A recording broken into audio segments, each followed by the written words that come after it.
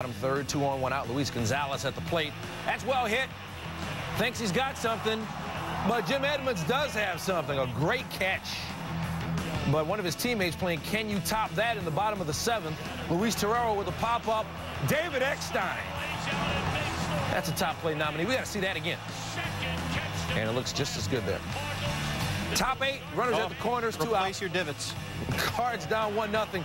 Reggie Sanders. That'll drop. Hector Luna scores. Game tied at one. Bottom nine, game still tied at one. Gonzalez at the plate. Went down and got it. And it is time to bounce in Arizona. Walk-off home run off Ray King. Number 12 of the year for Gonzalez as the D-backs take it 2 to one. Rain Wednesday forcing the Cubs and Braves to play two Thursday in Atlanta. Derrek Lee sitting out with that inflamed left shoulder. Mark Prior, well, the wheels came off in the fifth. 0-2 on Rafael Furcal.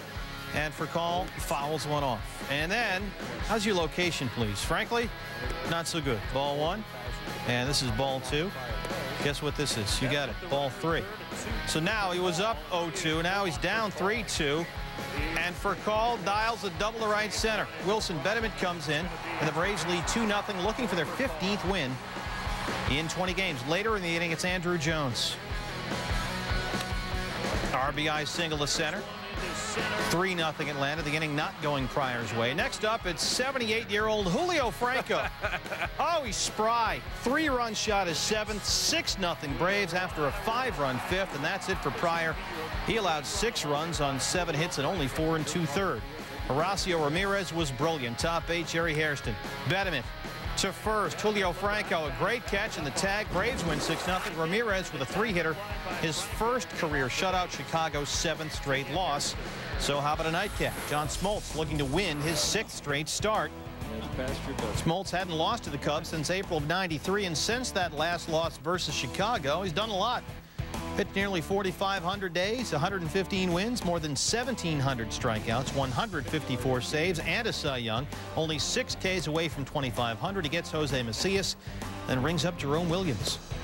But Smoltz would finish with only those two Ks in the game. Top six, Aramis Ramirez. He gets to Smoltz. A home run to left is 19th, and it gives the Cubs a 4-3 lead.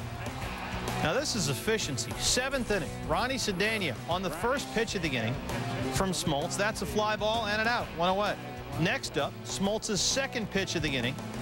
And Neifi Perez pops out to left. So third batter of the inning, just his third pitch, Macias. He's thrown out. Smoltz a three-pitch inning that lasted one minute and 22 seconds. He allowed four earned in seven. Bottom eight, Andruw Jones. Oh, unstoppable. His 27th. That leads the major leagues. And it gives the Braves a 5-4 lead. Still bottom eight, Jeff Francoeur in his first major league game. How about his first major league home run? Three-run shot off Glendon Rusch. Braves win 9-4 with a six-run eighth. Francoeur called up from Double-A Mississippi earlier in the day. He gets the curtain call, and of course, the requisite pie in the face. The Cubs have lost eight straight. Pedro Martinez was picked as an all-star in his first year with the Mets, but he has to pitch for them on Sunday, and he doesn't think two days is enough time to recover, so he won't make the trip to Detroit for Tuesday's game. Phillies' Billy Wagner took his spot on the National League team. Kenny Rogers hasn't decided if he'll pitch for the AL team, and manager Terry Francona says that's completely up to Rogers. If Rogers decides against going to Detroit, Francona said he would take Red Sox 10-game winner Matt Clement for the All-Star team. Francona's Red Sox opening a four-game series in Baltimore, four up on the Orioles atop the AL East. So a lot of guys getting some days off here. Manny Ramirez, Johnny Damon, Edgar Renteria, Jason Varitek all off. New additions Alex Cora and Adam Stern making their Red Sox debut. 1-1 in the third, Melvin Mora. Yard at Camden Yards off David Wells. A solo shot is 15th, and it's 2-1 Orioles. Wells allowed three runs on five hits in six. Top five, Boston with the bases loaded, and Sal Fasano picks off Trot Nixon. A huge blunder with rain pouring down and the game about to be made official. Lee Mazzilli said that was the game right there. Another look.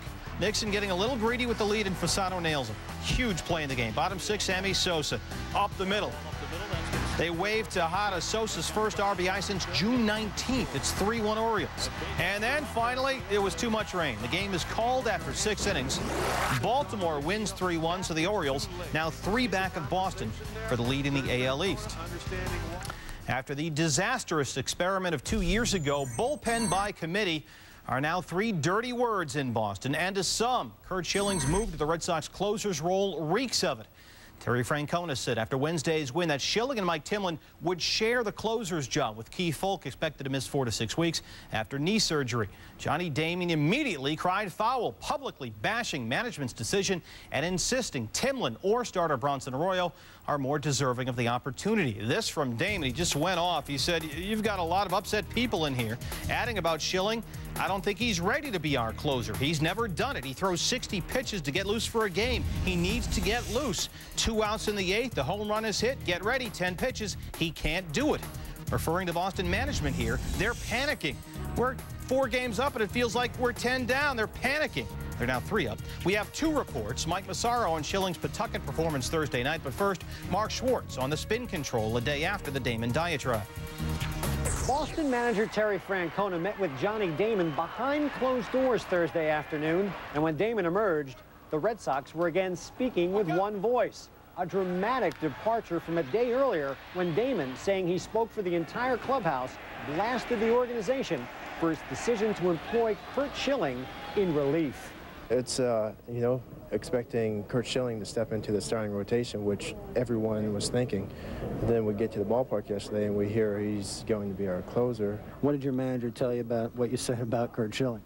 Um, well, he just said, uh, you're a dumb we, we have a plan. We have a good plan. So uh, just uh, uh, back him up on this, and uh, we are going to win games. Um, uh, we need Curt back. Um, to get guys out. In his opinion, probably is because Curt Schilling's been probably the number one postseason pitcher of our generation, and, and you think about uh, that, if we're coming in October, do you want Schilling closing or do you want him starting? That's an opinion, though. I mean, we're just players here. We don't run a team, but we can have an opinion, and I think Johnny deserves a lot of credit for saying what he did, other than, you know, that he, he was a dumb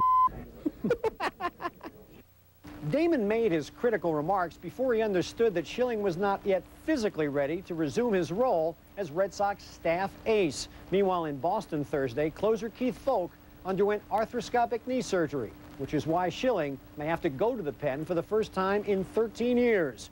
And bomb-sniffing dogs were already in place before the London incident. They check everyone, um, you know, coming in and out of the stadium, uh, you know, even the players, you know, so if they're checking us, you know, at least we, we know that they're doing their jobs.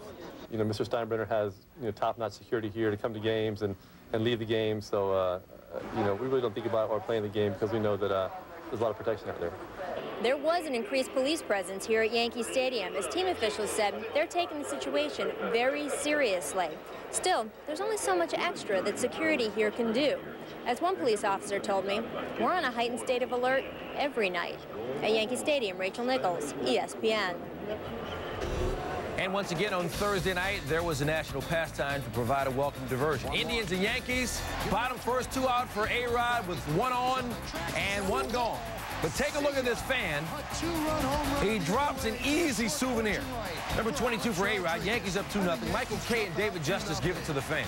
This is just an awful play. And he knows it. E10. Jason Giambi, 5 for 7, 3 home runs, 5 RBI in his last two games. He leads off the second. There goes another one off Kevin Millwood. A solo shot, number 9 for Giambi. Joe Torre said he's feeling good about himself, but that same fan not feeling very good about himself. Kay and Justice not feeling any better about him either. That guy's having a bad day. Don't be afraid to bring a glove. So two-drop eBay gold mines for this guy. He's 41-year-old Rob Marchese, a businessman from Queens, and he said his son is going to give him the business because he always tells his little leaguer to keep his eye on the ball. He did get a post-game news conference, though, and he said, the first one I was zoned in, I had it locked, but the speed was faster than I thought. It hit me right on the wrist. The next time, I'll bring my glove. Bottom seven, Derek Jeter leading off. Fans left him off the AL All-Star team. Jeter's like, I got your AL All-Star team right here. Solo shot, number 11 for him. Yankees win at 7-2, and now the Yankees have won five in a row. Mets and Nationals playing an afternoon game at RFK Stadium in the nation's capital Thursday. Officials would not discuss specifics regarding increased security measures. National players taking a train to Philadelphia for this weekend series were encouraged to load as much luggage as possible onto a truck so they could avoid security issues with the train. The game at RFK going into extra innings. Top 11, Mike Piazza. This with runners on first and second, and Piazza had a big day. This will drop in. Carlos Beltran comes in to score. Piazza wants to stretch this into two. The hustle play, not quite enough speed. He's out at second. Cliff Floyd then trying to hustle in at home. He's out trying to score from third. The Mets are up 3-2. Piazza was 3 for 5, but if you're scoring at home, this is 9. That's Jose Guillen. Brian Schneider, the catcher, he's 2. There you go right there. And then we go back up to Jamey Carroll. That's 6, and then back home for 2. So that's the old standard 9-2-6-2 DP. Happens all the time. Exactly. Bottom 11, pinch hitting. It's Wil Cordero. Braden Looper trying to nail this thing down, and Looper does his 20th save. Cliff Floyd has it in the corner, and the Mets win in extra innings. They go into RFK where nobody seems to win this year, and the Mets take three of four from the Nationals, 3, 2, and 11 on Thursday. Looking to salvage a split of their four-game series with the Brew Crew. Rain and wind in the fifth. Ponchos were, well, they were attacking people, frankly. We flash back June 27th, the grounds crew. These guys had some real issues. They couldn't get the tarp out there, and it got so water-blogged with rain, it was too heavy. They couldn't move. It was a mess. They had to call the game. Back to Thursday. Ponchos continuing to attack when Ponchos attack. Next time on SportsCenter. A few minutes later, Ned Yost going to walk Alex Gonzalez. First ball at 2.59 Eastern. And finally, third base um, John Hirschbeck stops the game. And that, well, as you can see, they've worked out their issues. They, they had some practice, the ground screw. Now, well, they're pros. They whipped that thing right out there. No, no worries. 41 minutes later, yeah. 41 minutes later, Ricky Bottalico, ball four to Gonzalez. Two batters later, Carlos Delgado pinch hitting a grand slam. The 10th of his career, the home run, his 17th is here. And the Marlins win 11-3. They salvage a split of the four-game set. It's a Pennsylvania thing, Phillies and Pirates. Ladies and gentlemen, this is Zach Duke. His second major league start. He's 22 years old, called up last week. Top second, against Mike Lieberthal. Top four, Bobby Abreu down swinging. He struck out eight. He said he got all kinds of chills out there. Bottom four, Pirates up 2-0 on a Humberto Cota home run. Brett Myers facing Jack Wilson. And look at Pat Burrell go up and get it. We may have to see Burrell later on in the show. Pirates still up 2-0. Top six, Duke still going strong facing Abreu again. Got him again. Gets his first major league win worked seven innings, gave up no earned runs, and the Pirates win it 2-1. Finally, Los Angeles Angels of Anaheim, Southern California, United States of America. Bartolo Colon, he's an all-star, only three walks in his last 57 innings work, and of course, top first, he walks Adrian Beltre. Next batter, Jeremy Reed, and he's hitting Colon up for a three-run double. Raul Ibanez, Richie Sexson, and Beltre all come around. It's 3-0 Mariners. Now top second, more trouble for Colon. Two out versus Randy Winn, and what do you know, he walked Next batter is Ibanez, and Colon walks him to three walks in his first two innings of work. Now, Beltre versus Colon with the bases loaded, and Colon's not going to like the smell of this. That's not a walk, it's worse. Three-run double, 7-0 Mariners. They win at 10-2. Colon, six innings of work, seven hits, seven runs, all of them earned. Twins Royals opening a four-game set in Kansas City. You know, Jose Lima's got a circle change. How do you throw that thing? Well, right there. There's the grip, and he had it working. Top four, Matt LeCroy. And the bottom just drops out. Lima looking for only a second win in 18 starts, and you'll get it with pitches like that. Unhittable. How do you get your hair like that? Well, that's another show. Bottom four, Tony Graffanino. They're loaded up the middle. It scores two. On Angel Berroa comes in. They wave Shane Costa as well. It's 4-1 KC. In the seventh, Berroa check swing at a shallow center. Emil Brown will score. Ruben Gotay, though, has issues rounding, rounding second. He, well, he just falls down. Rowe had four hits. It all works out for the Royals, though. They win 8-3. KC with 12 hits, all singles. The Royals have won three in a row. Bottom two, Adam Everett. Fouls down the left field line. A fan makes a terrific catch off the deflection from another fan's glove. And this is big. You know what? We'll share it. Um, you know, things have really changed in Houston the last couple of years because two years ago, you might remember Cardinals visiting uh, Houston. Albert Pujols home run, and the scramble ensues. A closer look. The older man knocked over by a younger fan, and the older Oh, gentleman's wife, not happy, takes out the, the cane and just starts beating the guy with it. Take a closer look. Two years ago, the fan who ended up with the ball was wearing a Cardinals jersey. Two Astros fans sharing this ball. So don't mess with Texas, where we're going with that. Top five, Ramon Hernandez, singles in two. Padres win 7-5. A six-run San Diego fifth. They snapped a three-game losing streak. Your elder. Dodgers and Rockies from Colorado. Derek Lowe's been lower than low on the road. 0-7, 4.92 ERA in his last 13 starts away from home. Bottom six, Todd Helton says it's not going to get any better here. Solo shot. Forget a tape measure job. That's a GPS number. Just the 26th upper deck shot at Coors Field. And Helton's 259th career home run. That sets a Rockies record passing Larry Walker. Dodgers pitcher Kelly Wunsch sprained his ankle on his last warm-up pitch.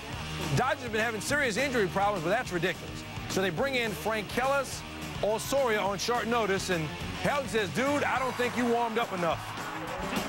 Three-run shot for Helton, the second of the game, ninth of the year. The Rockies win at 8-5. It's their biggest comeback win this season. Reds Giants series finale in San Francisco. Top four, Ken Griffey Jr. Foul ball. Now Reds first base coach Randy Whisler tosses the ball to a kid. The woman next to him knocks the ball out of the kid's glove. Where's the cane? Come on! Get, get the cane. Get the cane. That's right, she should be caned for that. Bottom five, Mike Matheny off Aaron Harang is ninth and his 3-1 Giants. Bottom six, JT Snow. And here we go again. Left side. Fan catches the ball. And then this guy, here you go, gives it to the little kid. Now that's more like it. He knows about the cane. Three pitches later now, Snow, again, fouls it off. And here we go. Same spot, same guy. See, he's rewarded for giving the previous ball to the little kid. And he's keeping that one. Giants win 5-1. Long enough time to reward your patience with SportsCenter's top 10. Number 10, Cardinals and Diamondbacks tied at one in the bottom of the ninth. Luis Gonzalez says, let's get out of here. Walk-off shot for Gonzo. Diamondbacks win it 2 to 1. Number nine, the Brew Crew and the Marlins. Carlos Delgado in there, pinch hitting for Florida. Bases loaded. Carlos hits it center field. Clark going back, looking up, and it is gone! Grand slam! A pinch hit Granny for Delgado. Marlins won 11 to 3.